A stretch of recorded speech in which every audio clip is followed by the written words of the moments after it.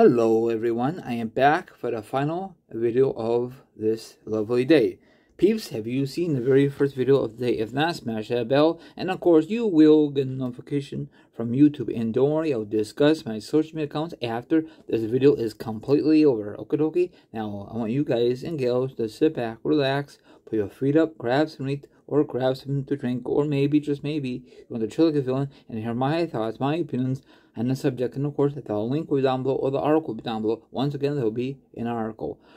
I know everyone heard about this information by now, but Elias is reporting working without a professional contract with the WWE. Now, how do you feel about that? Do you care or don't care? A new report from BWE Twitter account, which has broke stories in the past, states that Elias is no longer under a professional contract with the WWE.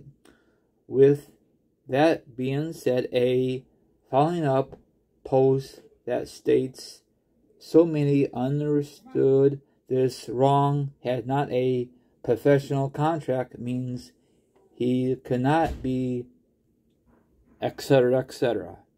Okay? Now, I am not a fan of his character.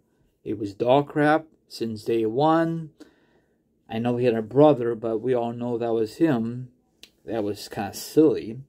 And the only belt he ever won was a four-time a 24-7 belt. And that's it. He was never IC champion.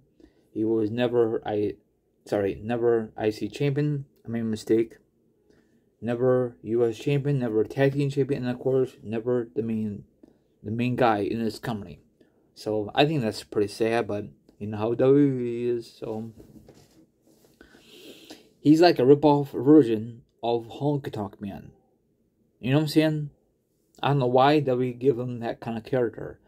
And then I remember they kill his character off, and I thought that's the end of Elias and then they they brought him a new character, but it was his brother. But technically, it was him. You know, that was kind of bogus.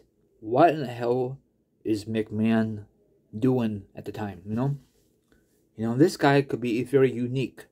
You know, not like a future Hall of Famer, but more charisma. You know what I'm saying?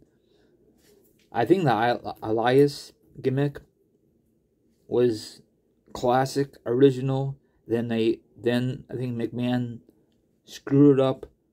And they had this video package that they kill his character off. I thought it'd be way better when he came back, but nope, very very disappointing. So if W does not resign him, it's not really a big loss. He might be done wrestling completely, you know. So I wonder how much money did he made in this company. Probably not as much as like Roman Reigns, Seth, and other major superstars in this company. He had his moment. He had enough money in his wallet, I'm assuming in his bank account. If not, that's all on him. And, you know, I was not a fan of him at all. I don't give a darn if he's Elias or his brother's name. I don't care. It was bogus. You know, I know you're going to say he has two brothers. No, he does not. Okay? It was pointless.